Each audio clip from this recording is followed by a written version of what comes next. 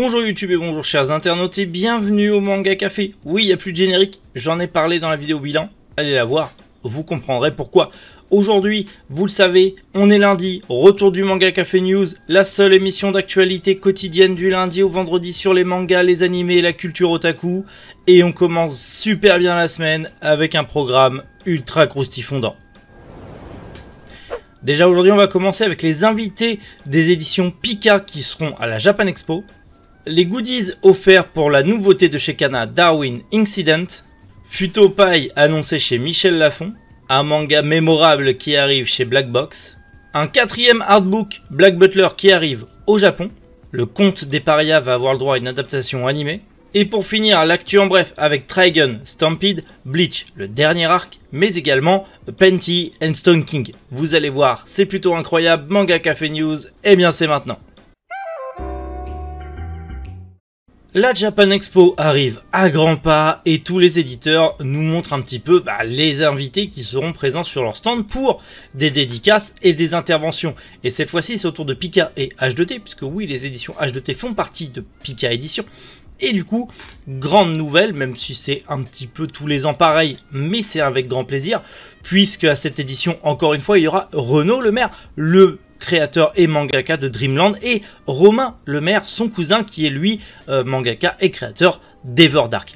Alors, en plus de ça, il y aura d'une part des dédicaces pour Everdark et pour Dreamland, il y aura aussi bien sûr Géo et PO, les deux assistants de Renaud Le Maire sur Dreamland, qui seront présents aussi ce jour-là, puisqu'il y aura des animations sur Dreamland, il y aura aussi une conférence sur le manga Dreamland et son adaptation animée avec notamment bien évidemment Mehdi Benraba qui est le directeur éditorial de Pika, Julien Lemoine qui est le CE d'ADN et Charles Lefebvre qui est membre du studio La Chouette Compagnie, le studio d'animation qui crée, enfin qui est en train de créer l'adaptation animée de Dreamland.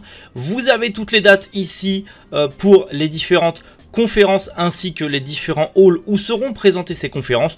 Je vous ai mis aussi le lien en description comme d'hab pour que vous puissiez revenir sur la page de l'article, prendre des petites notes et vous préparer une Japan Expo petits oignons, hein, normal. Et concernant H2T, pareil.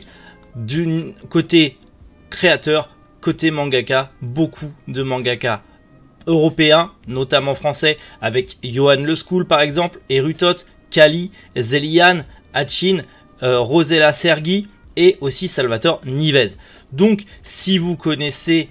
Euh, je ne sais pas moi, Flair, Flair Livium, ou encore Skylight Fast, ou encore Wandering Soul, ou encore Nova, ou encore Enfants des Abysses, ou encore Bravest Journée, ou encore euh, Blue Swan Hospital, vous aurez tous leurs mangaka qui seront présents aussi sur le stand Pika et H2T. Vous avez aussi toutes les dates juste ici, donc n'hésitez pas à tout marquer. Faites-vous vos plannings. Si c'est votre première Japan Expo, faites-vous votre planning parce que c'est chargé. Vous aurez beaucoup de choses à voir, donc préparez bien votre Japan Expo si vous voulez ne rien manquer. Parce que croyez-moi, aller à la Japan Expo, les mains dans les poches, c'était bien il y a 15 ans, euh, maintenant c'est plus possible. Mais c'est cool.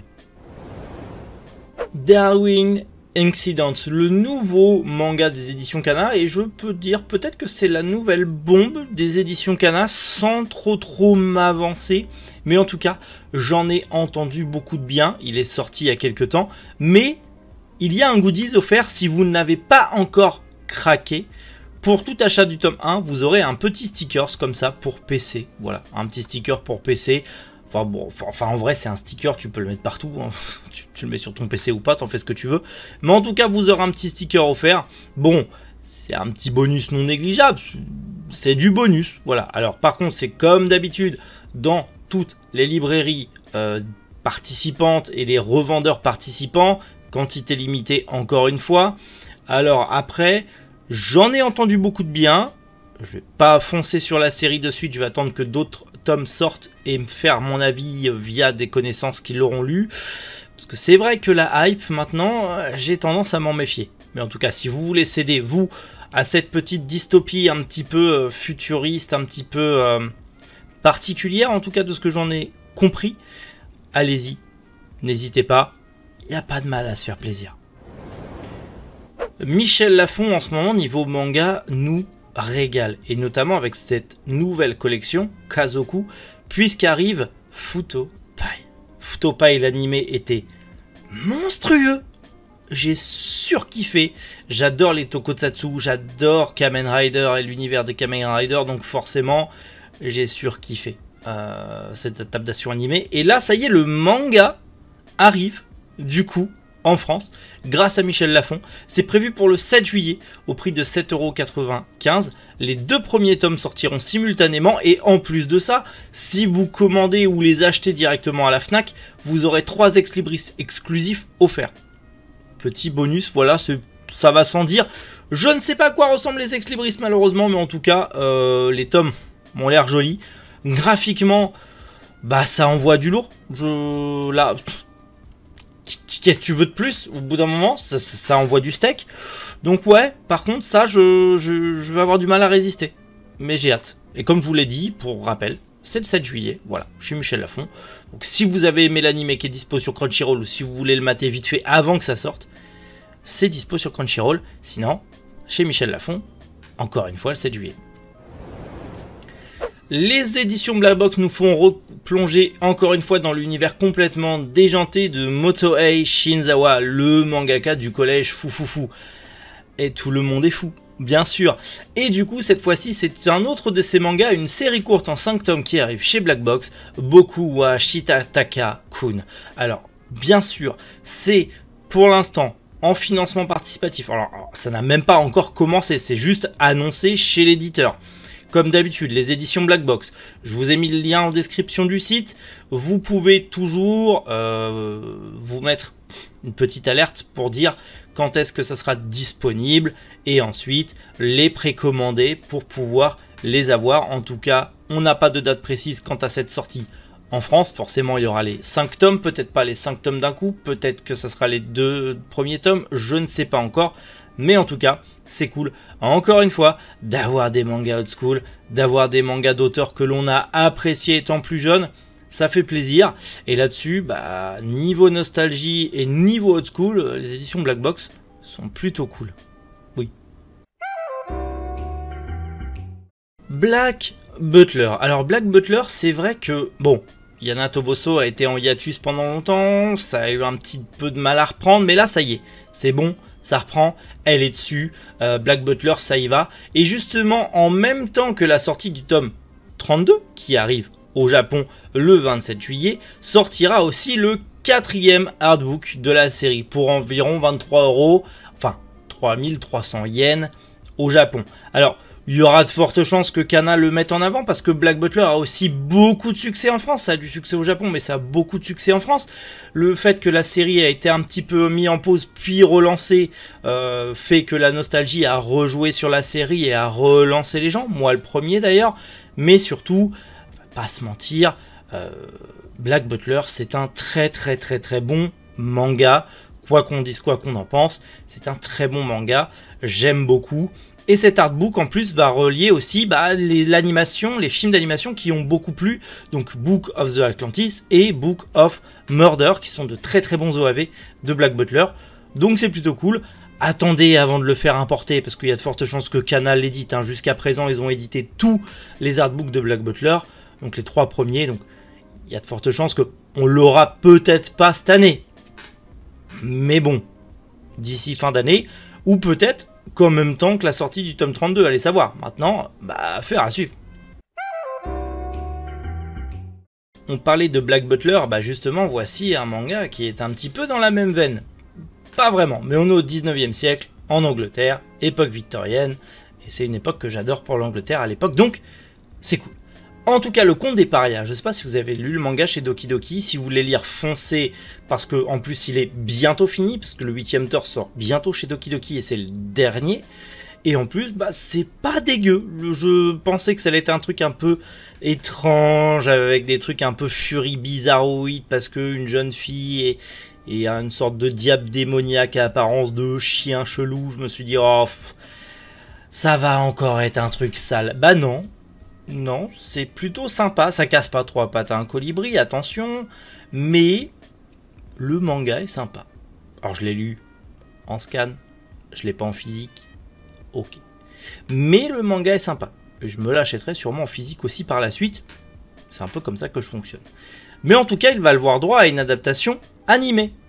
Et ça, c'est plutôt cool. Alors, par contre, on a juste une image officielle, et c'est plutôt beau, déjà de base, ainsi qu'un petit message de l'auteur pour nous dire que effectivement le manga est fini, mais qu'on aura une adaptation animée très bientôt. Pas de date, pas de studio d'animation, on ne sait pas qui sera au staff de cet animé, on sait juste que le conte des parias aura une adaptation animée. Bon, bah c'est plutôt une bonne nouvelle. Vu que là c'est en cours, je pense que ça sera un animé peut-être fin d'année, voire début d'année prochaine, printemps prochain peut-être, affaire à suivre. Comme d'habitude, si vous voulez suivre toute l'actualité, c'est sur cette chaîne qu'il faut rester et c'est sur cette chaîne qu'il faut s'abonner. Oui, Trigun Stampede, on en avait déjà parlé, le Trigun, l'animé Trigun d'il y a 24 ans va avoir le droit à un remake. Et là on vient de voir les premières images. C'est la bande-annonce, elle est en dessous, c'est de la CGI, mais par contre on est vraiment sur quelque chose de très différent, mais c'est surtout, j'ai l'impression qu'on est sur le passé de H, de Vache de Stampede j'ai confondu. On est sur le passé de Vache de Stampede. Et c'est vrai que j'aime pas la CGI. J'aime pas ce look très Jones de H, de Vache. Pourquoi je veux l'appeler H De Vache. Je suis pas fan.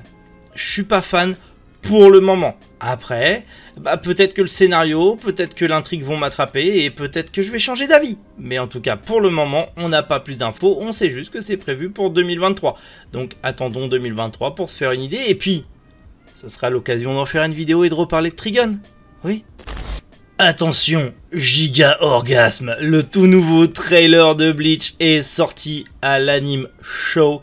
Et mon dieu, que j'ai hâte. Déjà la musique, Déjà la musique, déjà, bon vous l'avez pas, mais déjà la musique elle est incroyable, allez voir ce trailer euh, en plus grand, euh, musique à fond, euh, go le casse dans les oreilles parce que ça va envoyer du lourd. Cette guerre va envoyer du lourd. Et en plus, Tite Kubo a annoncé que ce dernier arc en animé de Bleach comportera des scènes inédites qui n'étaient pas présentes dans le manga car il n'a pas pu les mettre à l'époque grâce à la Shueisha. Qu'est-ce qui me casse les bonbons la Shueisha? Il gâche à chaque fois le talent des, auteurs juste pour correspondre à un public euh, d'ado attardé.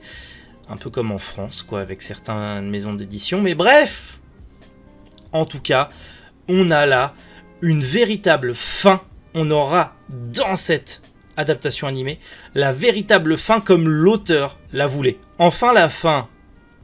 Il y a eu le chapitre bonus, on sait que c'est pas réellement la fin. Bleach aura une suite, ça a été annoncé. Euh, on sait pas quand, mais on a hâte. Mais en tout cas, j'ai vraiment hâte de découvrir cette version d'animé. Il n'y a pas de CGI dégueulasse. C'est beau, ça donne envie. Ça en montre beaucoup sans en montrer assez. Ah Bleach va revenir en force, baby Et ça, ça me fait plaisir. Et on termine l'actu en bref avec cette dernière annonce de l'anime show. Il s'agit d'un nouveau projet d'animation pour Panty and Stonking with Belt. Alors en plus derrière, c'est le studio, studio euh, c'est le studio Trigun. J'ai du mal aujourd'hui, j'ai encore mal à la gorge, c'est un truc de fou. C'est le studio, c'est le studio je, vous jure, je vais y arriver. Je le garde au montage, c'est pas grave. C'est le studio Traeger qui est derrière, donc studio Traeger, notamment les dernières adaptations d'Evangelion, Guren Lagan qui était incroyable, Promar qui est mondieusement orgasmique, et là, euh, on va voir un nouveau projet d'animation pour euh, déjà cette série d'animation très Cartoon Network euh, qui était sorti en 2009 de mémoire, ça date un petit peu, hein, euh, sympa mais sans plus. Ça avait fait son petit buzz à l'époque, euh, on en parlait sur MSN. Ça existait encore MSN en 2009 J'ai un doute. Mais bref, en tout cas, à voir. Mais bon, Studio Trigger derrière, je pense à m'envoyer du steak, donc bah affaire à suivre. Bon bah voilà, je pense qu'on commence la semaine avec des grosses, grosses, grosses news. Désolé, je suis encore un petit peu malade, donc je bégaye un peu, j'ai encore du mal à respirer et à parler, mais malgré tout, c'était important de vous parler de toutes ces news, c'était important de vous parler de Bleach, de Trigun, c'était un petit peu aussi important de vous parler de Futopai et tout ça, enfin bref, il y a beaucoup, beaucoup de bonnes news cette semaine, on commence très bien la semaine, je suis très content, et vous, dites-moi en commentaire quelles ont été bah, ces premières news de la semaine qui vous ont le plus plu, même si pour certains d'entre vous, je sais très bien de quoi vous allez me répondre. Mais en tout cas, j'ai hâte de vous retrouver demain matin, 7h, pour un nouvel épisode du Manga Café News avec, je l'espère, tout autant de news fondantes. Donc d'ici là, bah, prenez soin de vous et surtout passez une excellente journée. C'était Méric. Boujou, les internautes.